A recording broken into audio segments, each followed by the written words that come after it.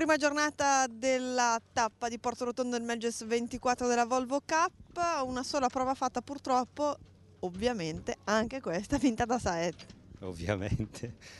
No, è andata bene, siamo stati fortunati, partiti bene, veloci, abbiamo interpretato bene il campo che comunque è abbastanza ballerino, c'era anche un po' di corrente, siamo riusciti a girare davanti, abbiamo mantenuto distacco, eh. è andata bene dai.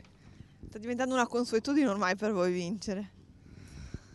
Dio, eh, non, non saprei cosa dire perché in queste cose è sempre meglio non rispondere, però sì dai insomma stagione è partita bene, sta proseguendo bene, stiamo lavorando per, per continuare ad avere questi risultati.